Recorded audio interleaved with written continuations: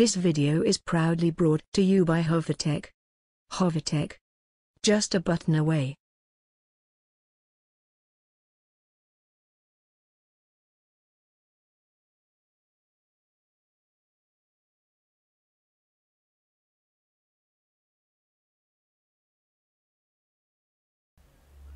In today's guide, we'll be looking at how to make an MTK Droid Tools backup.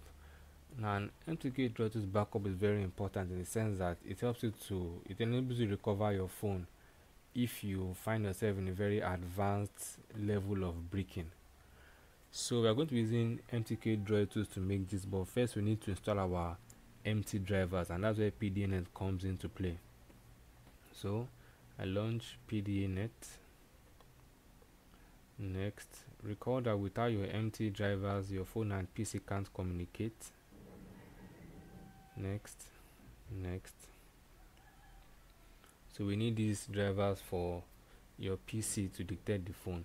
Alright, this is telling me I have existing Android drivers, but what I need are Tecno drivers. I'm going to click yes to overwrite. Now Tecno is not listed here, so I'll just leave it on others and then I tick OK. I click OK.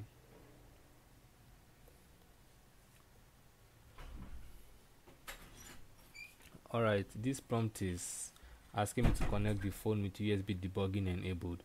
Now to enable USB debugging on the phone, you go to settings, developer options and you tick USB debugging.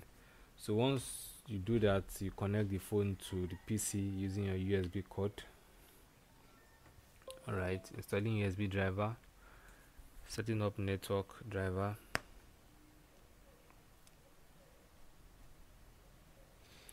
so this should install drivers to the PC yeah. So I have a confirmation my MT drivers are installed on my PC so I can go ahead with the MTK Droid Tools backup. Now I'm going to launch MTK Droid Tools. I'm going to launch as administrator because Usually you could encounter permission issues when backing up on certain phones, so it's best to launch as administrator. Alright, MTK Droid should display my phone details here and a box here.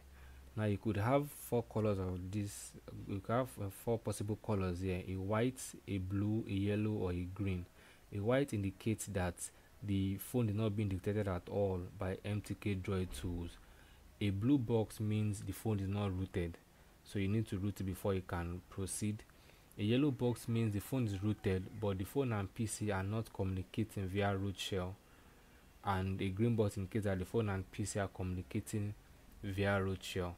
So if you have if you find yourself with a yellow box here you don't need to panic. All you need to do is click a root button which will appear somewhere here. When you click the root button you get a prompt on the pc you click a yes get another prompt on the phone. You click, you click a grant then a green bar will load there for some seconds then this the yellow box should now become green. So if you have a green box what you need to do next is to proceed to the root backup recovery tab here then you click backup. So MTK should start backing up a phone. Know that this process this process can take as long as 15 minutes so you really have to be patient here. After several minutes we are almost done backing up. So here you get a prompt to pack backup I will just click a no. You could click a yes but it just packs your backup as a zip file. I don't really need that here so I'll just click a no. So task is complete as you can see here. So I go confirm my MTK Droid Tools backup.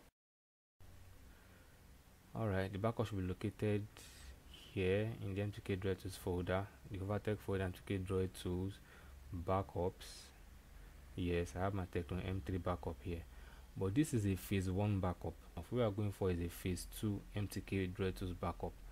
So we go back to MTK Droid Tools here and then we are going to click to prepare blocks for Flash Tool. Now in this window, I'm going to select the MD5 file. Remember this is the my this is my phase 1 mtk backup we are going for a phase 2 mtk backup so i select files at md5 and open.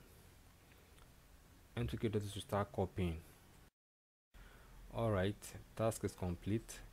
So I'm going to confirm if my phase 2 backup was successful.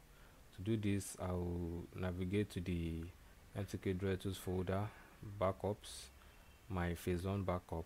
Now I see a file a folder named files to flash to.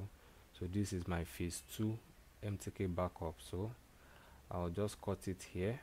I'll cut it paste it here and I'll rename it to my Tecno M3 MTK backup. Now this is my phase 2 MTK backup